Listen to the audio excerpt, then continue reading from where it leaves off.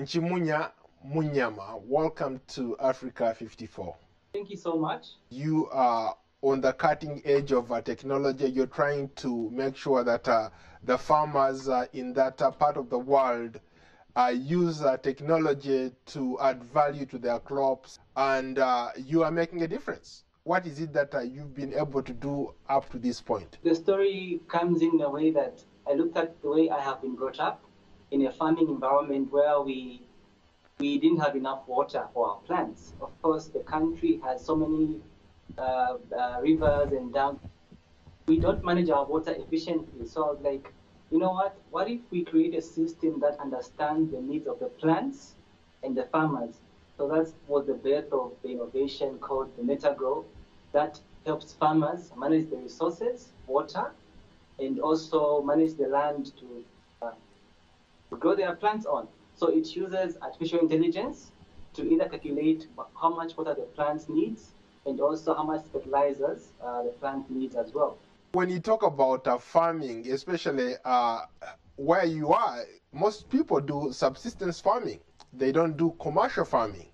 And yes. those people engaged in subsistence farming uh, are not uh, maybe savvy with the kind of technology that you're talking about how many people have access uh, to that artificial intelligence or can figure out how to use uh, that technology that uh, you're putting in place? The beauty about this innovation is that it's not using conventional means. Talk about uh, computer systems, expensive education systems. So with just a smartphone or any other small phone without access to internet, can have this innovation right in their hands.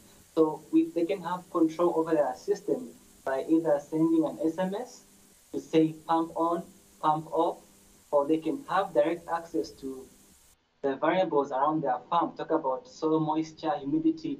So the farmer is aware of what is going around his field, and from that it can easily help him, even without access to you know, big computers, big uh, smartphones, or with just a simple phone without access to internet the rural farmers who don't have access to that uh, internet uh, or who don't have access to those phones, but they want to take advantage of uh, what you're presenting to them, how can they do it? Okay, so there's actually what we call the NetaKit.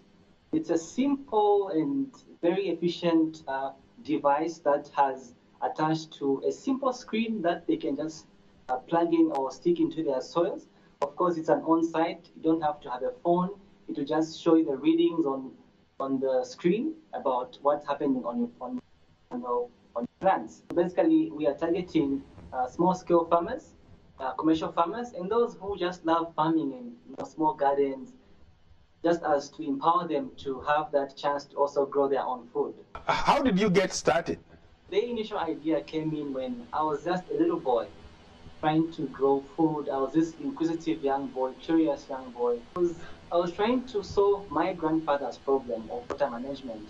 So I was like, you know, we are wasting so much water on just a small piece of land. What if I can create something that understands the needs of the farmer and my grandfather as well? So I came up with this idea, okay, what if we can create something that doesn't understand, not, not, not only understand the needs of the farmer, but also the plants. So I signed up for a simple course in programming I guess that was the beginning of, of everything. And from that on point, I turned the hobby of just planting crops and trying to grow my own food into a real passion to actually make a change in this sector of agriculture. Where do you see uh, uh, Netagrow going in the next five years? Netagrow is something huge. As a social enterprise, I see it to be some impactful uh, initiative that not only provides a service to the people in terms of agriculture, but also in the industry of forestry, uh, uh, forest fire detection, uh, smart agriculture, and also the part of impact on the youths in terms of teaching them coding skills, teaching them skills about design, electronics. So I see Netagrow in the next five years as this tech giant that has impact for the youth and on the economy of our country and ultimately Africa at large.